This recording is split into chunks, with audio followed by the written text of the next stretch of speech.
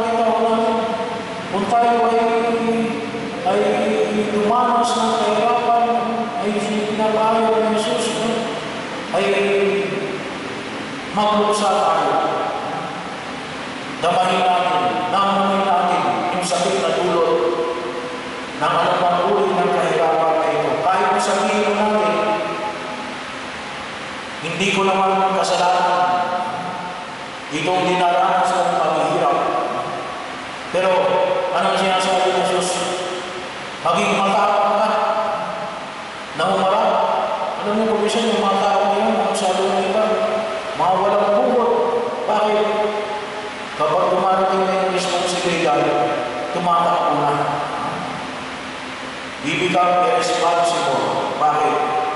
Tinataasan natin yung consequence of our actions. Kung minsan may tinatawag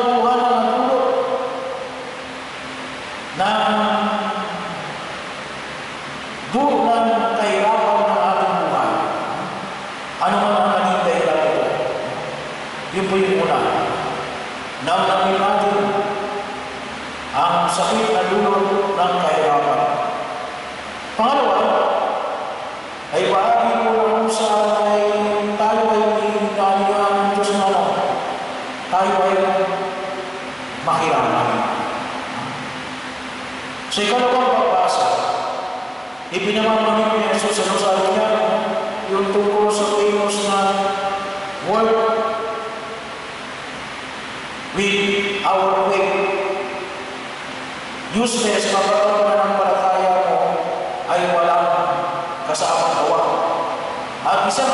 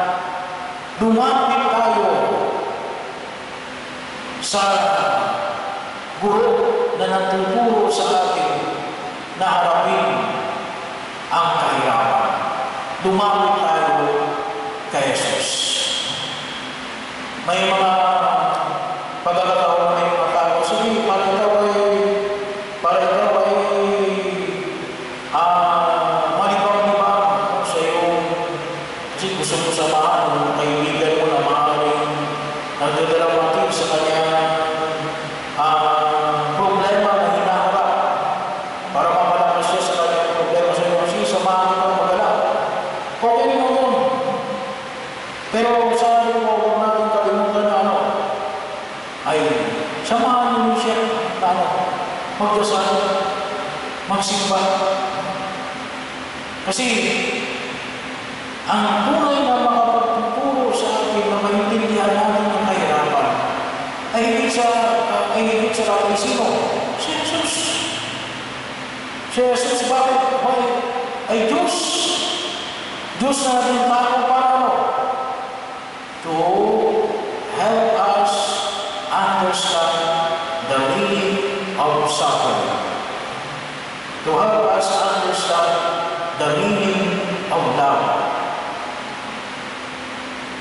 Isang bahagi ng ang sa loob natin kalimutan. Hindi natin maintindihan ang usapin ng paghihirap o ng suffering kapag wala si Kristo. Kaya kinakailangan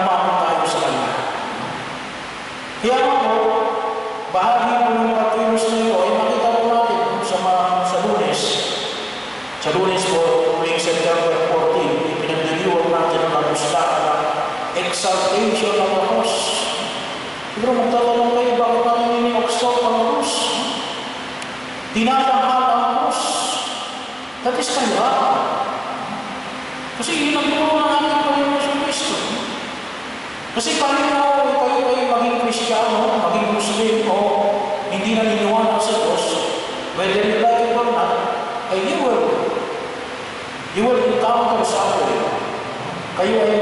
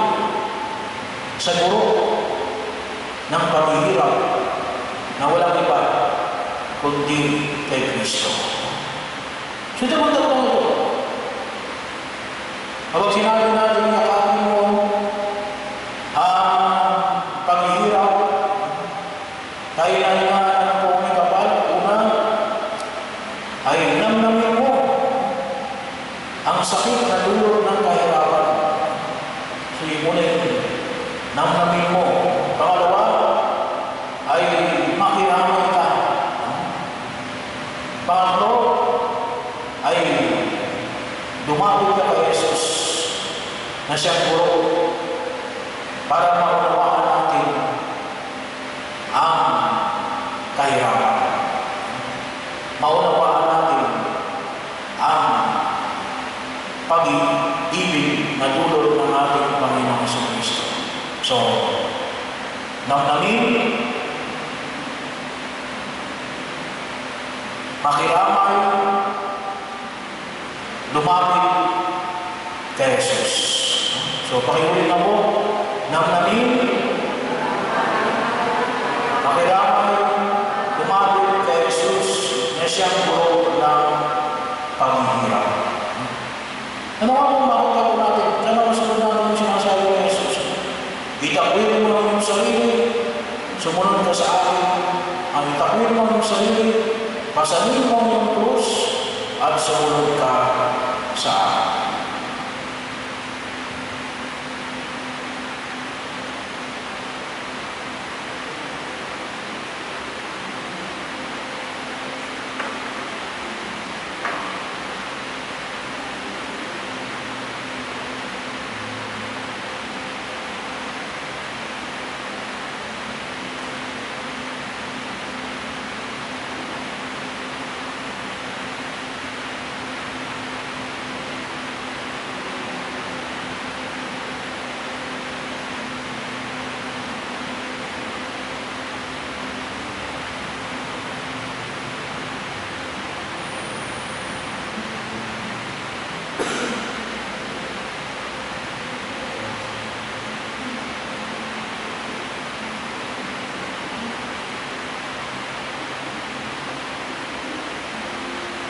miles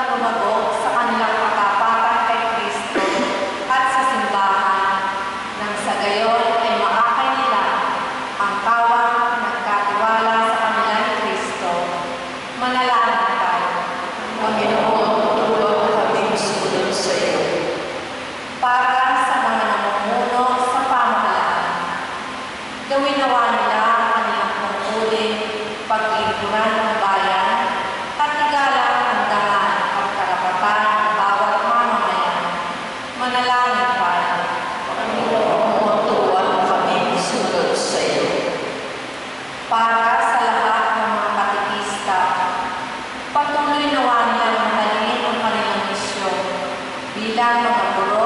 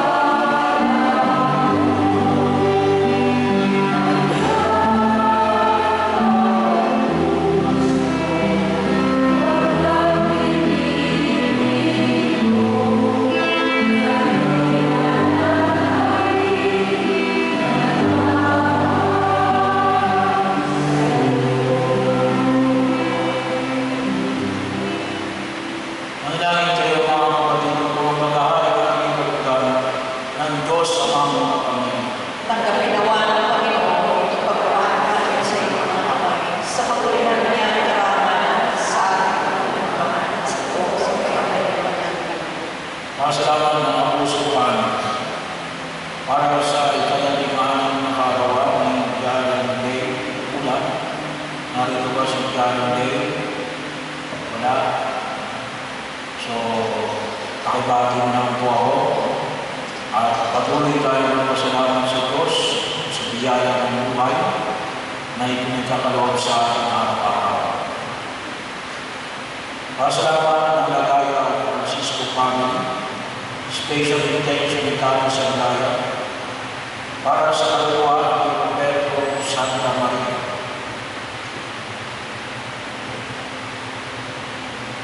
Ang manangin ikaw, maway ng tingin ng aming mga bitaya at paunahan mo ang pag Aay namin inihanda upang ang mahandog ng bawat isa ng bigay para sa mainang banal mong ngalan ay magkamit ng karagdagan ng kasalanan. Sa pamagitan ng Yesu Cristo kasama ng Espiritu Santo, magpasawala ang tayo. Sumayin ang Panginoon, dahil sa Diyos sa inyong puso at iba. Tinaas na namin sa Panginoon. Pasalamatan natin ang Panginoon ang ating Diyos. Narapat na siya ay pasalamatan. Ang maraming makapangyarihan tuloy ng parapat na ikaw ay aming pasalamatan.